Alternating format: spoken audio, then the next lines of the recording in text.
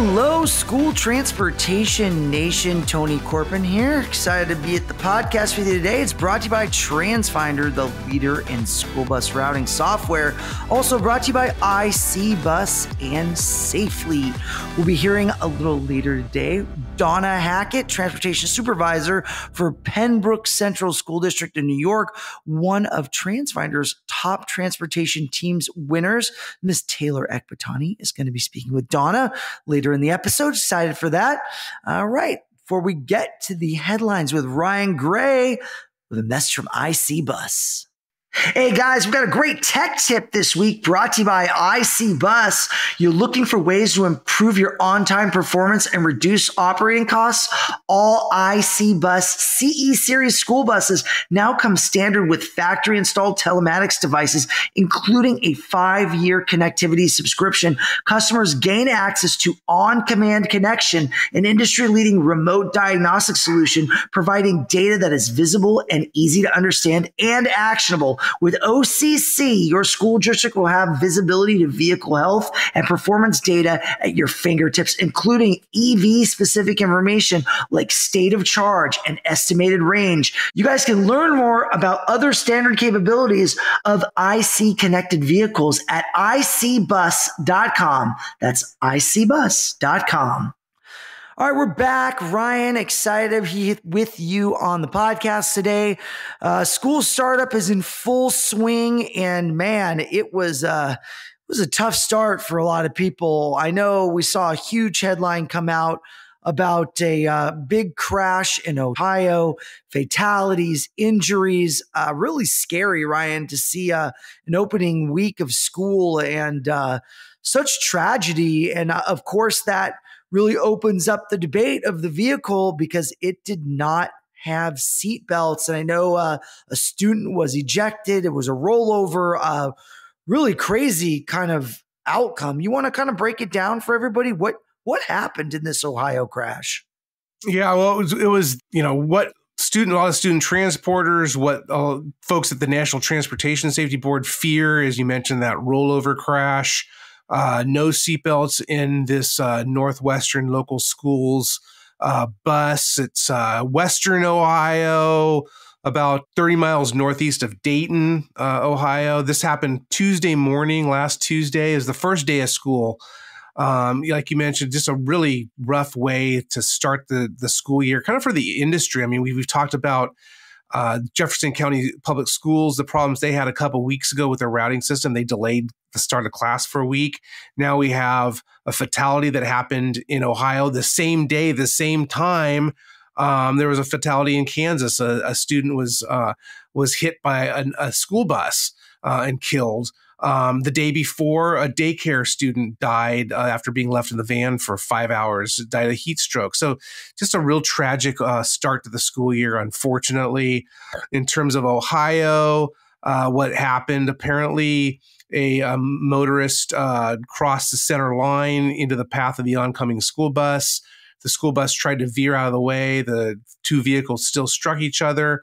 Uh, the school bus, as you mentioned, Tony, overturned, rolled over, and a student was injected. 20 uh, injuries um, as well. There was one critical. I haven't seen an update on that point, but it seems that uh, that student uh, uh may be okay. But um, certainly, uh, Aiden Clark, who was the elementary school student uh, who died at the scene, our condolences to the family.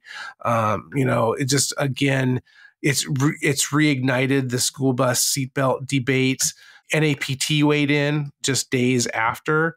Uh, Molly McGee Hewitt is who is the CEO and executive director of NAPT wrote a letter to an open letter to members uh, and really asking the feds for further clarification. As as we know, NAPT and the National School Transportation Association for years have been asking for more clarity. We know that NHTSA requires lap shoulder belts on all small school buses because the crash forces for, on those vehicles are more similar to what we'll see in some of our passenger vehicles, smaller.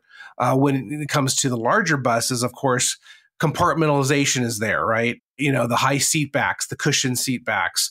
But as over and over again, NTSB investigations have shown, compartmentalization fails in a side impact or a rollover. And we, we had a rollover in Ohio again. So, uh, you know, definitely uh, looking for more clarification. We know that NASDPTS has come out and just has the position that where feasible, uh, school districts should just implement them. Um, but I know that there are um, differing opinions on that in the industry. But certainly, this great debate uh, is back to the the front of the headlines. Yeah, it's really tragic, Ryan. I know we we have seen definitely some accidents over the years that have really kind of galvanized the industry around seatbelt usage. And we really haven't talked about it a whole lot lately. I mean, a lot of the fatalities are always illegal passing fatalities. I feel like we deal with a lot in the loading and unloading zone. It's very rare that we see a really big accident like this. Obviously, we saw one uh, where a vehicle struck a bus that's being uh, investigated by NTSB because it, I think when we had talked, you said that they're always looking for abnormal crash situations where something happens, they want to study it, right? Yeah, well, ones that yeah ones they've never studied before. Yeah. So so like what the one you're referring to was a uh, a legal passing, eh, basically where a 17 year old motorist was driving along, didn't see apparently the school bus stop in front of him, uh, and tried to veer out of the way, went right, still struck the back bumper, glancing blow, and then hit the student and and, and killed her. Um, you know, and and you know, I know you mentioned illegal passing, but you know, like what we saw in uh, what also happened last Tuesday, a student in Kansas was hit by a school bus and killed. And still, there's more school buses. If you look at uh, the the breadth of the Kansas school bus loading and unloading survey, the national survey that first the Kansas Department of Transportation did, and then Kansas Department of Education, their school bus unit has picked up um, a couple decades ago. Um, there's still more deaths that happen at the hands of a, of a school bus, either the student school bus or another one. So definitely the the danger zone seems to be where this, the industry has focused um, lately, but it just takes one of these crashes to then just shine a light again. And of course, the national media. The first questions I, I saw when I was watching the press conference with the sergeant of the Ohio uh, State Patrol, um, they were asking, "Were there seatbelts on the school buses?" He said, "No." Um, we know Ohio is not one of those states that requires them. We have seen a lot of school districts um, in whether it be you know Ohio, um, certainly in other states that have voluntarily um, added this. Um, you know, in the Cleveland area, especially in, in Ohio, that's where there's been more seatbelt interest uh, Avon Lakes schools, uh, they actually had a pilot program that they they implemented in 2019. Interestingly enough, their latest school bus purchase, though, they did not specify seatbelts. There are several other school districts in the area of Cleveland that are looking at it currently. Um, but what we know is that this Northwestern local schools. Uh, Springfield, Ohio, is actually where they're they're based. Again, about you know 30 miles northeast of Dayton. They did not have seatbelts. So certainly we're going to likely see this topic at the NAPT conference when it returns in November. Yeah, I mean, Ryan, it brings me back to STN Expo in Indianapolis, where we have the live crash test demonstration that we host at the Safeguard IMMI facility. And they had set up uh, with us to really demonstrate what would happen in a rollover situation. And really, they've got crash test dummies within the bus they flip the bus on the side and we look at the outcome of belted versus unbelted passengers and what are those outcomes, right? And so I think it's a very striking thing when you see an accident like that happen. The audience gasps, right? It's just like, do it. But when it actually happens with a bus full of kids, I mean, my God, man, this is a it is a really big deal. And uh, it's just guys, I mean, I don't read the story. It's on stnonline.com. More more details are going to come out about this, but I mean, it is a really tragic outcome. And anytime there's injuries, fatalities, a bus flipping, I mean, this is a serious accident and seriously got major implications for what's going to happen in Ohio. Um, and I think there's going to you know, there's going to be a lot of answers that are, that are going to need to be made from a safety perspective. Mm-hmm. I mean, we definitely hang our hat as an industry on being the safest industry uh, in terms of commercial transportation of, of, passengers. And we're definitely transporting more people than any other major uh, form of transportation combined in North America. So the burden is on us as an industry to advocate for safer outcomes for our students. And seatbelts clearly we've seen demonstrate safer outcomes. And so this again, it takes a tragedy for it to move the needle. Uh, you know, and we've seen legislation be put up and they get struck down. And it really becomes a monetary discussion then, right? Can the district afford or can the state afford to pay for seatbelts on all the buses within the state? Is it only on new buses? Do they have to be retrofitted? There's all this kind of conversation that happens and and people say, "Oh, we'll just put seatbelts on." It's not so simple, right? It has to do with the subfloor, has to do with the engineering of the vehicle. There's a lot of other factors that need to be thought of. And then, you know, kind of things temper down and you know what are the outcomes? But we've definitely seen things happen over the years that really have moved the needle for this. So i'm i'm we're going to keep a real close eye on it ryan. I know i'm sure you've got some reaction on this. Oh absolutely. Well you know and something to, to not be lost in this whole thing injuries.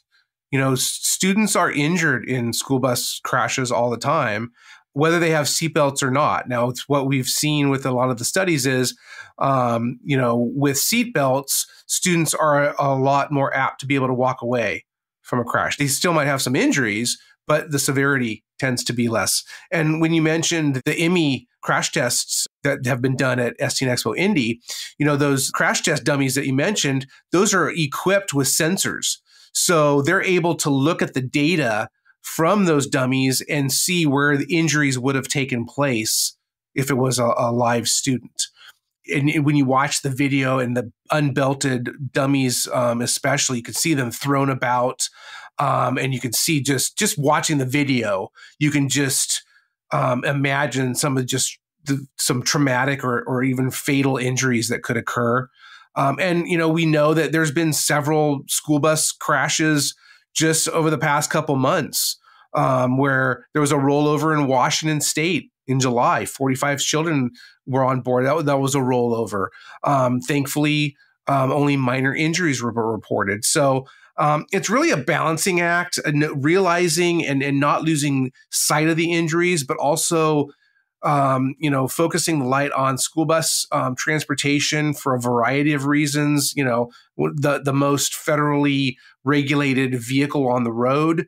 Certainly, uh, you know, you can get hurt in a school bus, um, but you factor in the training training of the driver, training of the of the attendants if there's any on board. Certainly, if there's seat belts, uh, video cameras, all these things together really, you know, give the detail on why school bus safety um, is, is so paramount and, and and so important and and so real. Um, you know, there's still a handful of kids that are killed a year, but we know that many more are injured. But still, things you know are are better than what they used to be. Um, and that's what we always need to keep in mind as an industry and try to shine the light on that because anytime one of these injuries happen, we know that the local and national media are going to seize on it um, and unfortunately sensationalism can occur. So it's you know it comes back to what are you doing in your operation? What are you doing locally to get the word out and share with the community the media you know what you are doing as a school district or a school bus company to affect school bus safety?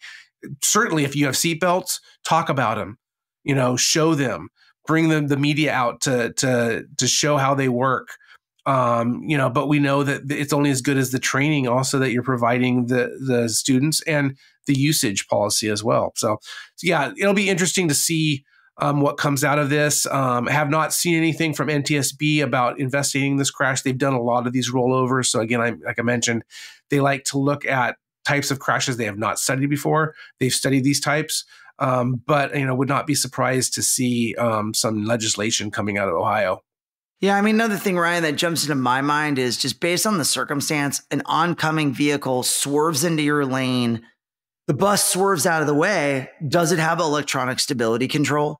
You know, we've done demonstrations with OEMs where, you know, curving around corners, when you have electronic stability control engaged, that bus is significantly more stable versus when you don't have it. So my guess is this was probably an older bus that did not have electronic stability control. And potentially, if the bus did, could the driver have recovered from the veering because it was a sudden veering that occurred. And you know the bus has a significant amount of rock when you when you jerk that wheel and then they probably jerked it back lost control flipped the bus. And it is hard to flip a bus. I mean it takes a lot of force. So you know and i'm not sure what the road conditions were the grade of the road or things like that which again more will come out. But first thing that jumps into my mind is based on the outcome could electronic stability control have had a better outcome for the driver to be able to maintain control of the vehicle. Absolutely. And, you know, we know it was a 2016 model uh, school bus. Uh, so likely did not have um, electronic stability control or any of the other advanced driver assistance systems that we've seen in, in, in later models. In terms of the road, there was a, a, slight curve just by looking at the, the media reports. There was a slight curve uh, that it looked like the school bus had just come out of, uh, but no hill. Um, it looked like there, it was a clear sunny day.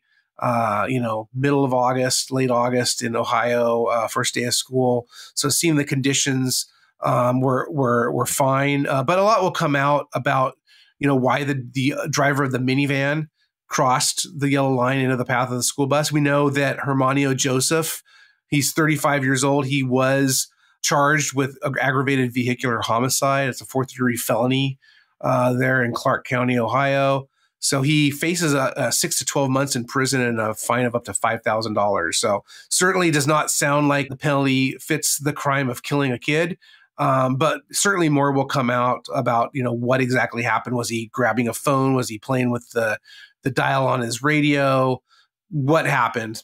Likely distraction that unfortunately that you know, again, driver distraction is likely the, the the cause of this. It seems to be, you know, over and over again. Yeah, I mean, with school bus driver training, that's where this kicks in, right? It's such a split second decision that occurred, right? I know we talk about training as being a really big thing, but this is almost like you're just reacting at that point. It just mentally, you just have subconsciously, you're kicking in on the training. So, so, Ryan, uh, looks like we have some breaking news. Like while we're recording this podcast, Governor Mike DeWine from Ohio addresses if school buses should have seatbelts after the deadly crash. So, in Ohio, school buses are not required to have seatbelts. And Governor Mike DeWine went on to say, all thoughts go out to the families that have been impacted. Let's take this tragedy, as horrible as it is, and use that as the push to look at whether there are other things we can do to make our transportation and our buses safer, end quote.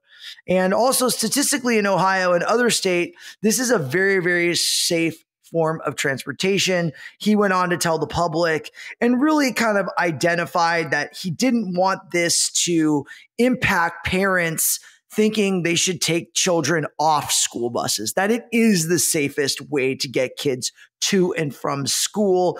And really, you know, we want to see how the state of Ohio responds. And we really think that they're going to put together a uh, working group from what it looks like from this press release and really take a deep look at adding seatbelts potentially to school buses in the state of Ohio. So we'll see what the outcome of that assembly is in that conversation uh, and that working group.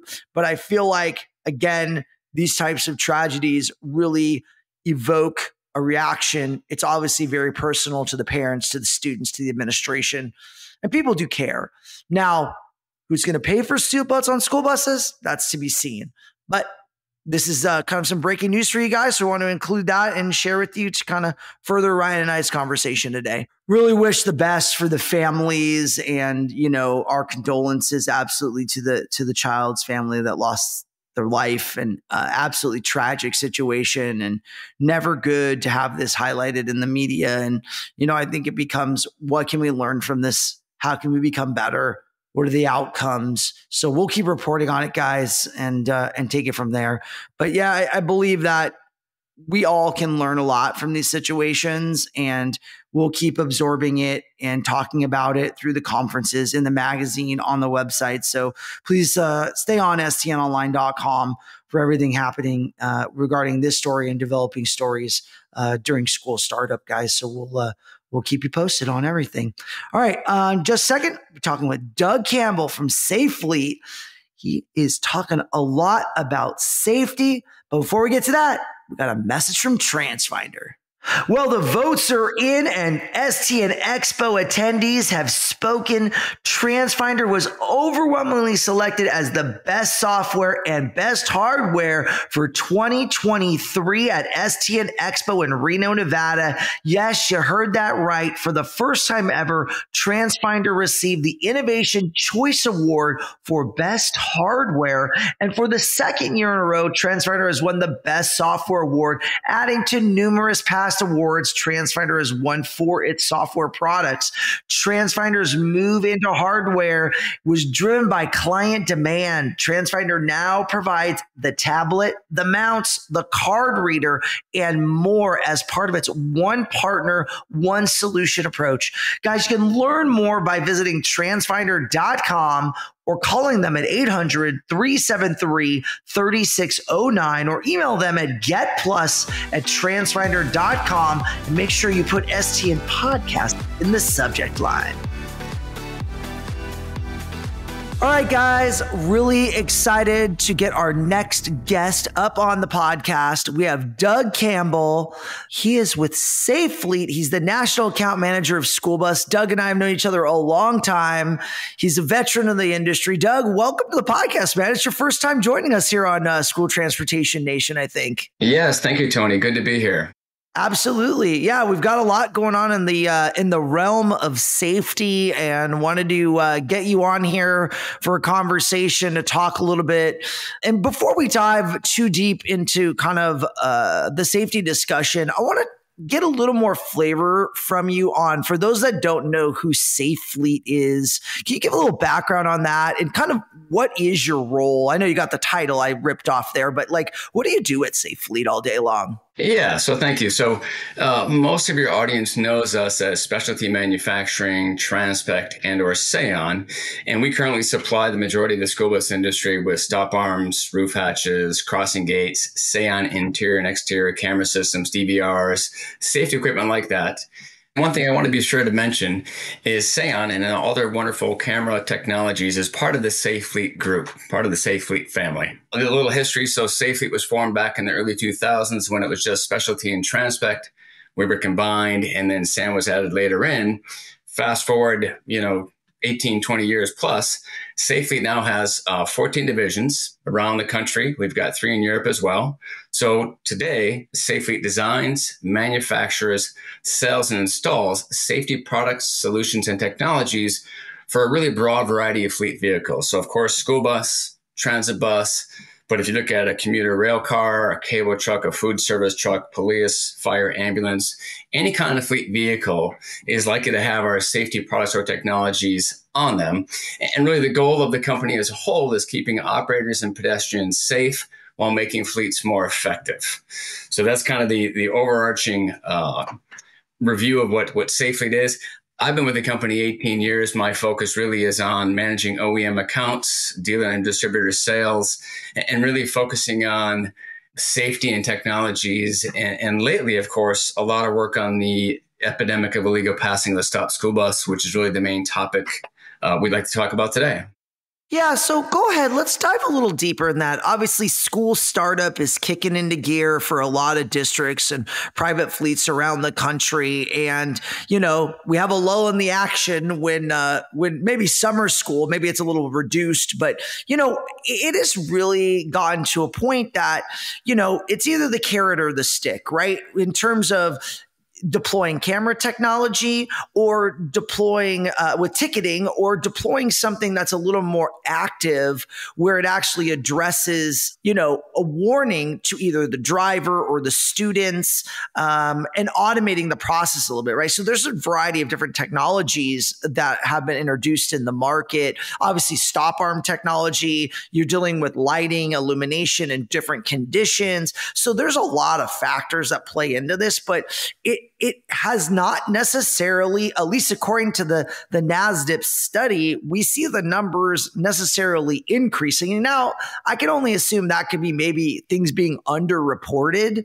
But regardless, 40 million, I think it was 43 million was the last count uh, in terms of the extrapolated number of illegal passes. I mean, that is just an astronomical number, Doug. I mean, what's your reaction to kind of the bigger issue and what are you doing to kind of tackle this kind of gorilla? Yeah, it's it's it's a very scary statistic. I think it was actually 45 million a year was the latest NASDPTS survey, which is just it's horrifying.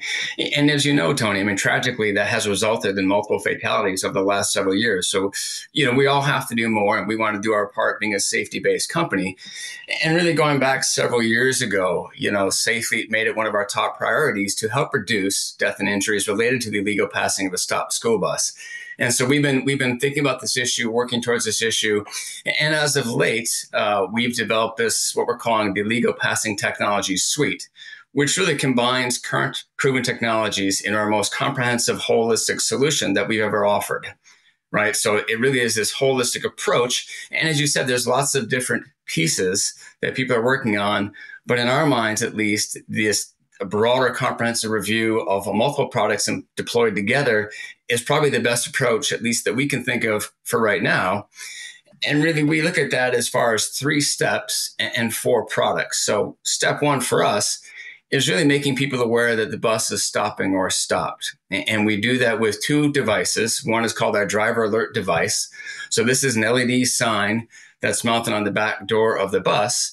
And when the bus is slowing down, the LED sign reads caution stopping, right, in, in bright LED letters. When the bus stops, the sign goes to stop, do not pass. So you've given a very clear message to the driver behind the bus what to do. Don't pass the bus. Working in conjunction with that, the second product is our latest high visibility stop arm. So this is our proven Defender composite stop arm. It's got a highly reflective decal, strobing LED lights, but we've taken the word stop and we've now illuminated that with bright white LED lights from behind. So you've made it much more visible in all lighting conditions from different distances. So now you've got that, that bright visible sign working with the driver alert device to make the bus uh, more visible and let people know that it's stopping or stopped. So that's step one. Step two, which we really think is the most uh, important step, is proactive notification of imminent danger giving the students three to four seconds to respond. So that, that kind of sounds like a mouthful, but I'm going to repeat that because I think it's so important to hear this. So it's proactive notification of imminent danger, giving the students three to four seconds to respond.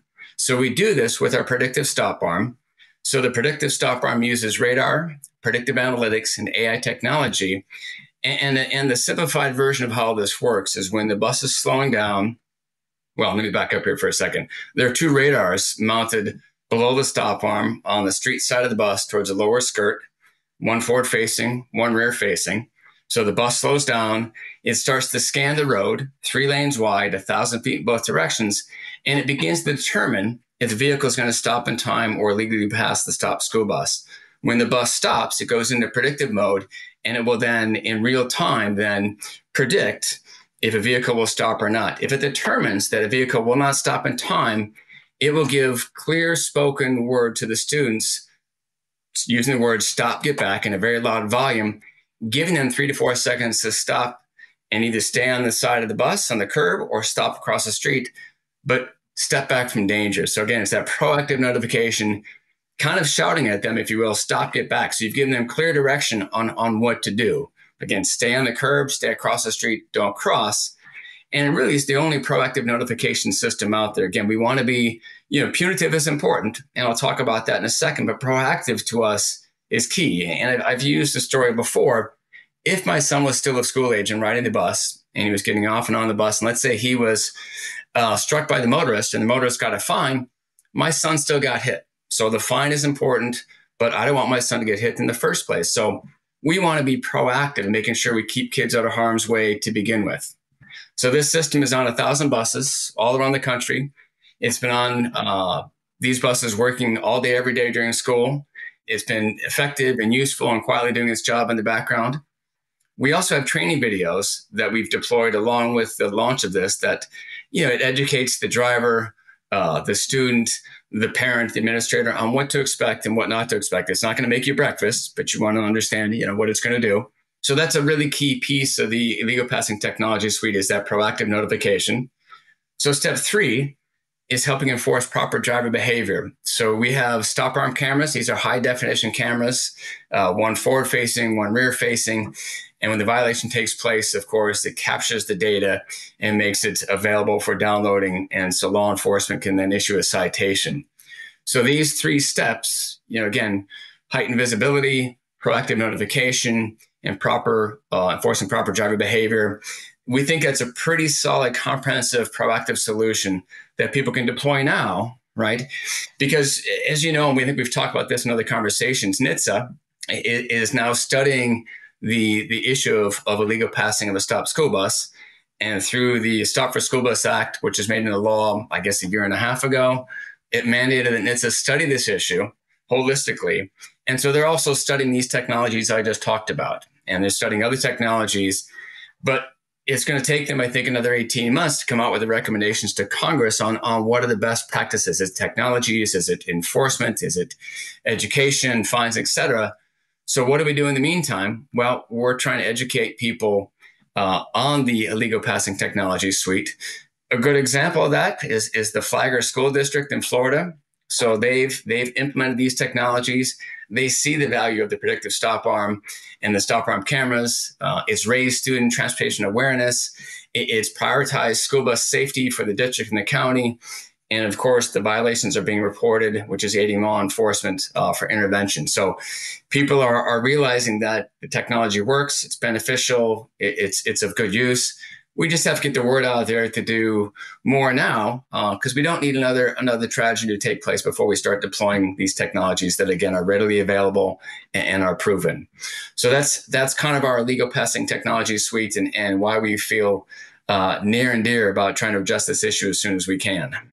Yeah, I know. I always run into you at the NASDPTS conference, which is the uh, the National State Directors Association. I know you work real closely with them to make sure they have a clear understanding of what all these products can do within the state, right? Because every state is different in terms of what they allow or don't allow, and the state directors are obviously really involved in the illegal passing study specifically. So, you know, can you talk to a little bit about how you work with that association specifically and kind of provide education to the state level?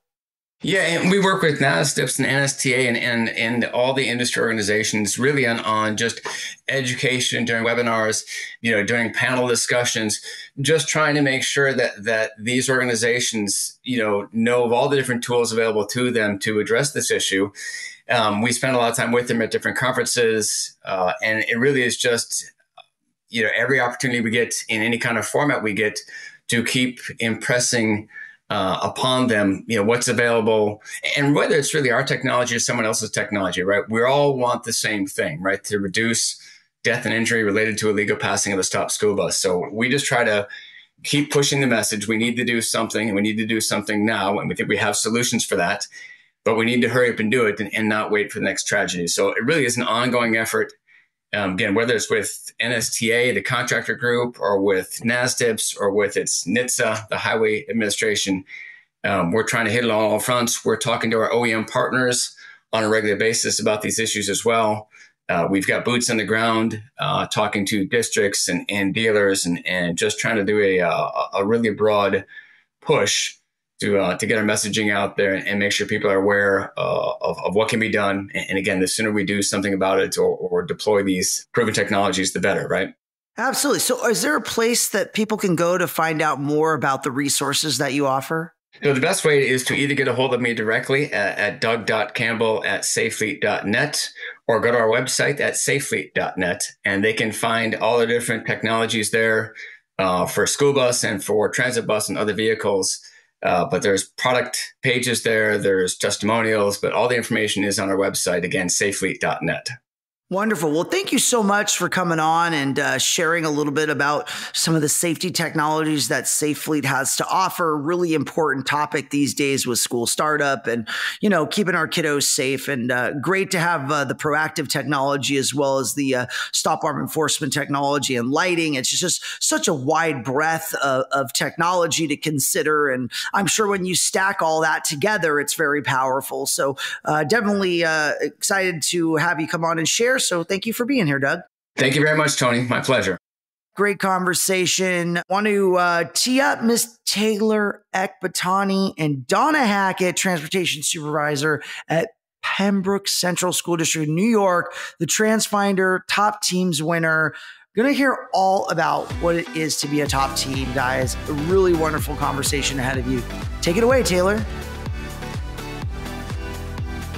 Hello, nation. We have another amazing guest with us on today. So I'm very excited to introduce Donna Hackett. She actually just recently retired. She was the transportation supervisor for Pembroke Central School District in New York. So welcome, Donna, all the way from uh, the other coast. Absolutely. Hello. it's great to have you on. And I know some of you guys might be familiar with Donna's name. She was one of the top transportation teams by TransFinder. So she was out in Reno, uh, big lunch and learn, big session there. And so we'll dive into that a little bit later. But kind of starting the discussion, Donna, can you kind of talk about your career, how you got started, you know, in the industry and, and some big highlights that have stood out to you? Sure, sure. Well, as most transport, school transportation folks, we don't aspire to get into this industry. It happens per chance. My per chance was a landlady at the time that was a school bus driver. I had my first little peanut and I was struggling with working full time at Marriott as a bookkeeper and seeing my baby grow up. And she says, Oh, Donna, you drive fire trucks, you love kids. Why don't you drive school bus? And I was kind of a little bit arrogant back there at age 24 and said, Oh, but I have a four year degree in business and accounting and economics and a school bus driver. Well, I did it. I jumped in, you know, definitely, definitely a leap of faith and could not ever leave it. Um, I drove school bus for 13 years. My current supervisor retired, and my business official said, Hey, Donna, you got a background in management. You know the industry. You've been here for 13 years. What do you think? And I was just like terrified. We had a very divided bus garage. They had merged two garages years back. Um, two schools merged and it never melded. And I was just terrified thinking, well, I'm on, you know, half of the people here will not accept me. And then, you know, like I said, you just, you really put your heart into it and say, no. My husband told me, um, hey, Donna, you love bus driving. And I was like, of course I do. And he says, why don't you make other people love it as much as you do? And that was my total motivation. Thank you, Bruce. Um, he was phenomenal in giving me that advice. And that's where it started was just taking my little realm of the school bus world in my little bus and sharing it with others. I was very blessed to have been very early on involved in our state organization, New York Association for Pupil Transportation they started really building me and, and grooming me and giving me all this data and information. And as I got that, I learned, I met other people in the industry and gleaned all of their stuff um, and, and truly brought Pembroke to the place that it is right now, um, where we are an amazing team like we have never been before. That's what's brought us to the national um, accreditation is our department all filled in this you know 20 something question survey and, and told how they love us and and how we have really pulled it together and you know we're a very um, fluid team we take a lot of information in people don't get bummed out when we don't take their suggestion you know we're always kind of building and and now we have huge support in our schools because we've informed them over 20 years of what we do and who we are. And I think that's what's built us as well. Our community understands us, our building principals understand us, everybody's on the same page. And I think the more we know about one another, the more we respect one another. Bus drivers aren't, you know, oh, just the bus drivers. they're the bus drivers and, and they're responsible and they're, um, you know, very good at what we do. I have said it and um, my New York constituents will say, "Oh, there goes Donna again, telling us she's the best department in the state." And I said, "We are."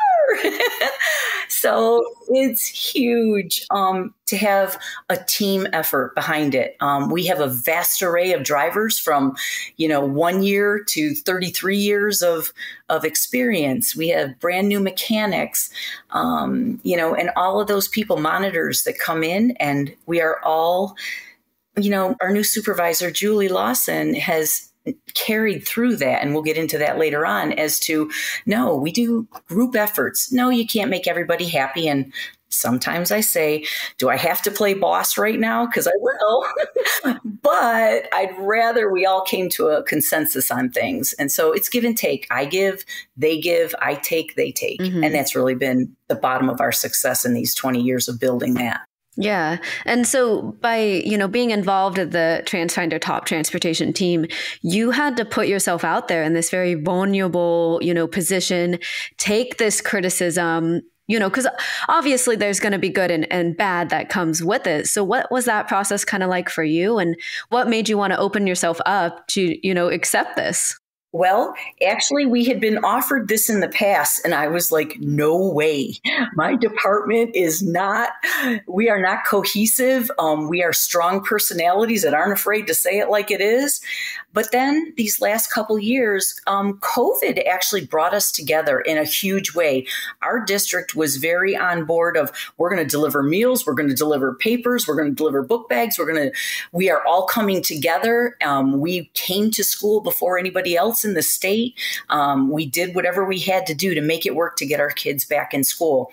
And our drivers took that very personal because those are their kids, their neighbors, their relatives. And we under we felt anyways it was best to get our children because we're a very rural area. So if they're not at school, they're home by themselves. And the nearest neighbor could be a couple acres away or a couple miles away. So um, that when we learned to work together during the COVID craziness for us, it really started solidifying us. And um, in NYAPT, I won a state award that we they presented to me in my superintendent's office with my staff. It was the most personal, beautiful. Oh my goodness, I about fainted. Um, it was just so awesome to get us all together. And then we took on this little motto. One of the girls was a softball coach, one of our drivers, and they used to have this on her shirt. So we made these two banners for the bus garage and my superintendent office. It sounds a little, you know, boasting, but I took this on in 2020 and it says, to play with us, you've got to be smart to keep up with us, you've got to be quick. But to beat us, you got to be kidding. We're a team and we all embrace this. And I've got to tell you, no, we all don't see eye to eye, but for the most part on the road, we are the best team. And it's just exciting to have little Pembroke because we're small. You know, we're a very rural district, but, you know, with a staff of 32, sometimes it gets confusing even getting that few of people together. And when we did, it just it, it just flew and so when the staff wanted to do this survey it was it was just like my heart was overwhelmingly happy. Um, I could not believe they were getting on each other. Hey, did you fill out your survey yet? Have you put in? You know, we got to put it out there. It's about time we tell people how we do things, and they took pride in how we do things, and that's where it sold. Is is their mm-hmm. their love for what we do as well. Yeah, I love that. And you guys were recognized for the 100 or fewer employees category. So they kind of had, uh, you know, two different categories a smaller and then a larger kind of operations. But you guys also took home highest score, which TransFinder announced during their lunch and learn session. So I think it kind of took everyone by surprise. I don't think you were expecting that. we were like, oh my goodness, we wish we could have brought the whole team to, to Reno, Nevada uh, you would have seen our absolute yes, we got this, um, because we really believe that we have gleaned over 20 years all these other great things from other schools and made it fit at Pembroke. Each thing may not fit at your school, but you modify it, you not afraid to change. They know when I come back from a conference or when I did come back from a conference or a seminar or a meeting or a podcast, they'd be like, oh no, brace yourself. Who knows what she's going to do to us now? but we did it. And it was always exciting and always, I always say we got to partner up and you've always got to uh, reach a higher level. And oh my word have we done it from our the, our physical bus garage? I mean if you looked at us a lot of people walk in and go wow this looks like home. And that's what it is. Some of us i'm here a lot of hours you know? And so we've got the fridge and the stove and we do barbecues and and you know and it's mainly here at work. We don't eat tea and crumpets outside of work together that much. Some of us do in little little pods. but on the road, we pull it together, whether it's bad winter weather in Western New York, whether it's COVID, whether it's the first day of school, you know, whatever happens, I just never am alone. Never. Mm-hmm. I've always got help. And that's that's what we're doing with Julie, my my predecessor now. She's, you know, not alone. Um, I'm not leaving until we get this figured out and she's comfortable and, and then I just want to drive the bus. that's my goal. oh, so you're gonna retire and then go back to school bus driving? Okay. Absolutely. I took my first field trip last week and I think my face still hurts from smiling. I just had a blast. you can definitely feel your excitement through the screen. So I hope hope you oh. know people can hear it too because it's there. Oh man, it's so true. It I you know 33 years in the business and I still love it. I still want to be here. My husband says I stink at retirement because I've been at work day, you know, and I'm just like, well, just a couple hours. I know. I email you and you're like, I'm retired, but I'm here. I'm like, okay. my superintendent just said that he goes, Donna, I really want you to be at the superintendent opening conference day and I was like, well, of course I'll be there. You know, he goes, I've got some good things to tell us. And, you know, even then, I'm retired. They still want to share the good stuff. That's a beautiful thing. You know, mm-hmm. it really is. So now with your predecessor, you know, how are you kind of training or bringing her up? You know, how are you kind of keeping this cohesive culture transportation team, you know, all together through this leadership change? Because that's a lot for a team to go through. It is huge. And our team was very afraid that we would hire somebody from without of the district that didn't have our same ideals. And we were all like, uh uh-uh. uh we, it's not that we don't want change. We do want change, but there's some basic things we do this way for a reason and we've established it. And we really didn't want to explain it again to somebody new.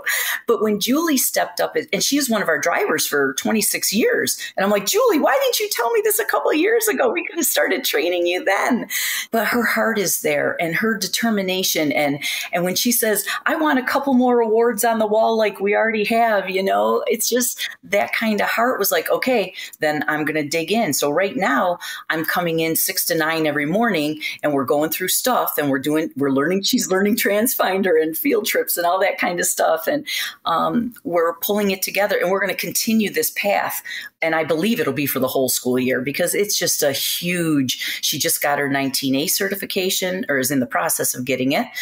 Um, so she's doing all of those steps to get to the point of her feeling confident in this position. Um, like I said, it takes TransFinder, it takes our IC buses, it takes 247, our camera people, to explain their part of our industry to us. And these are the people I'm introducing Julie to. And um, we truly, we're sticking together. Um, I try to not talk so much when she's around. Um, I try to wait for her to ask a question. And then I, of course, give my answer because I love telling what we do and how we do it. Mm-hmm. And she's super super open to not only taking us to the next level, but learning this base level super strong um, because your base is what's going to build on. And, and that's what we want. We want that strong foundation and rock solid. And then we can take it to other places as time goes on. Mm-hmm. So I'm going to stick around. Definitely, we're trying to establish a part time position in my office, in the office, excuse me, um, because it's a one man show. And for 20 years, I've been hanging on and, you know, the 10 hour days and weekends and nights and all that. And it's it is truly too much. So now we're showing the district why we need somebody in there just a couple hours a day to do certain things. And we're deciding what those certain things are. And one of them is going to be I'll be there you know six to nine and then she comes in eight to four um, that will be much more manageable because those long hours even me i got tired so it's definitely something we want to help resolve for future, you know, super. Yeah. So, you know, when training, Julie, what were some of the top points that you're like, okay, this is where we need to start? Or was it leadership? Because, you know, you came from a school bus driver to into the leadership position. So you have a lot of background and, and knowledge that you could share with her on how to make that transition. Mm-hmm. Yeah, we um, definitely. It's a step when you when you make um, a vertical leap in your in your organization, it's tough to go from school bus driver to supervisor. I went through that 20 years ago, and some people did not take too kindly to it initially. But you prove yourself that your heart is into it, and you're in for the good of everybody. Julie is wonderful in saying, "I have this idea. Let's pitch it to the whole team and see what their feelings are on it. Because honestly, we don't see the whole picture until you talk to everybody. How's this going to affect the subs? How's it going to affect the mechanics? How's it going to affect our special ed drivers? You know, everybody has such a different perspective. And you know uh, part of this game that you really want everybody to talk about it. And then you want everybody to understand what went in the decision. Because sometimes you can tell one person one thing and then they pitch it to somebody else differently. So we like to have a group meeting and say guys this is what we're thinking. This is what we're doing. Hash it out. And we're still going to play boss and make the final decision and that's the part that julie's julie's working on right now um, our first thing though was definitely getting we were into full swing of summer we still had routes going. So she had to just come alongside of me and see what I was doing to make those routes happen and what, how they ran and all that. So again, TransFinder was absolutely integral. They are my secretary right now because they take care of field trips. They take care of, you know, my mechanics have Service Finder. So all of our, that inventorying and budgeting and things like that are taken care of. When I have staff information, she's like, all right, where do I find, you know, how many miles we went last year? Okay, now I go to Zonar. So those different entities that we have teamed up with and really solidified our usage with over the years that's our nuts and bolts as well. We have to have those people. And for us, we chose these vendors because I'm like this little Excel spreadsheet person and I put all these parameters down. And then I put all the lists down of what, who has what and how much it's going to cost and what their support is like. And for Pembroke, these vendors have risen to the top and we have stuck with them. I still look at new ones. Um, you have to be responsible and look at the other bus vendors, look at the other camera vendors, mirrors, whatever you're talking about. Um, so this is where Julie's going to start. She's absorbing now is where do we get all that information that truly makes us run every day? How do we interface with the parents? Um, this is a new thing with Stop Finder that we're doing through TransFinder. Literally, we are just pushing that out to the parents. The app is going out and oh, it's so exciting. it truly is. I mean, this you can't get bored in this industry. You just can't. Mm-hmm. So before we wrap up, what is your last kind of advice, you know, to some school districts who who want to be, you know, a top transportation team? What is something you would say to them and and how can you build them up or build up a culture?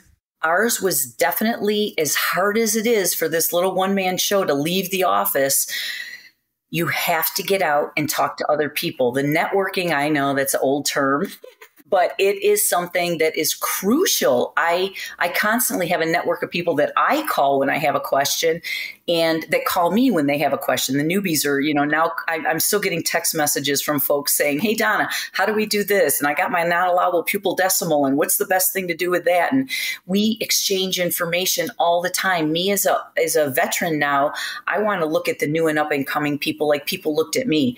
Um, we had two supervisors, one from Lancaster and Grand Island, that really saw that I have this crazy desire to do all this and pulled me into NYAPT real deep deep with the legislative, with the um, safety, with all these different poster contests and things like that.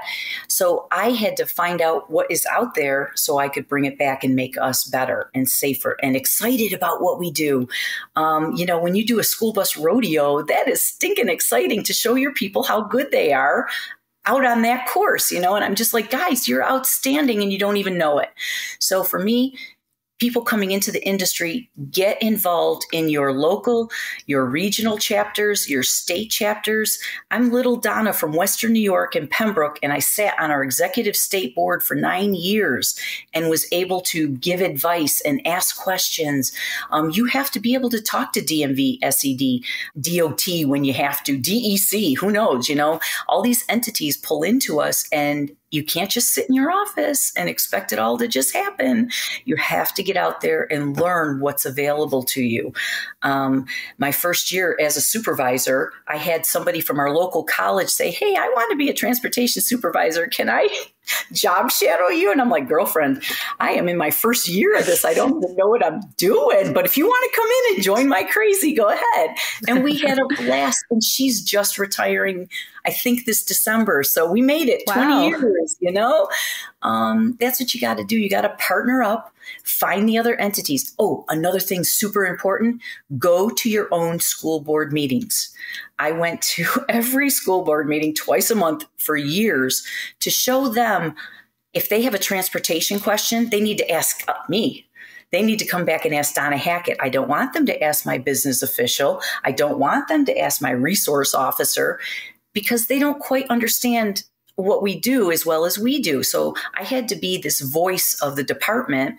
And so whenever there was a community problem, a uh, you know internal problem, whatever kind of thing, they said, "Oh, transportation, call Donna." You know, my principals would say, "Oh, sounds like transportation, call Donna." You know, you don't want somebody else speaking for you when they're just they're trying to do it well, but they don't know it well. So that's important to get yourself in the community and in your school established as the transportation guru. you really need that. Um, I encourage my mechanics to come to meetings so they're a face. We want to be a face with our board and with our community. Um, Julie and I will be, you know, we've already hit board meeting together and we're going to continue doing that because um, you're the pro. And if you don't have the answer, don't be afraid to say, hold on, let me find out. Um, never be afraid to say, I don't know, but I will find it. Um, that's huge because your community depends on you, your own staff depends on you, your district depends on you, and even other communities around you, other schools. You know, when you start playing sports and stuff, you got to connect with them. So be that face that they know they can go to. Unfortunately, any time of any day. they do contact you. So you have to know this is not a nine to five job. It's all year, every day, things happen, and your heart just has to be in it. If it's not, you know, figure it out. Um, there was a time I'll get kind of personal because this is part of my success. Um, 14 years ago, I was 200 pounds. I had, you know, just the stress of everything was building up on me. And I partnered up with one of the drivers who is very healthy and she exercises and she eats right. And I said, Hey, how can you do this? You know, how do you do this? Will you bring this on? So she taught me a lot of stuff. We still exercise together most every day, bike riding or weights or something. So your personal health as a person in this position is vitally important, vitally important. Because if I'm not strong mentally and physically, how do I lead other people? That to me seems like an oxymoron. you know, I needed to be strong. And that definitely helped my department. And um, she became our trainer. So, you know, it just, we're trying to spread that strength right through our whole department. Yeah, that's amazing. Donna, you are such a wealth of knowledge. I could listen to you all day talk. and. I just want to share with you guys and anybody that ever wants to contact me, Donna at Pembroke, I can get you name and numbers. I would never hesitate to encourage others. This is an exciting, exciting, always growing, always changing industry. And you just, you can't sit still, even when you're retired.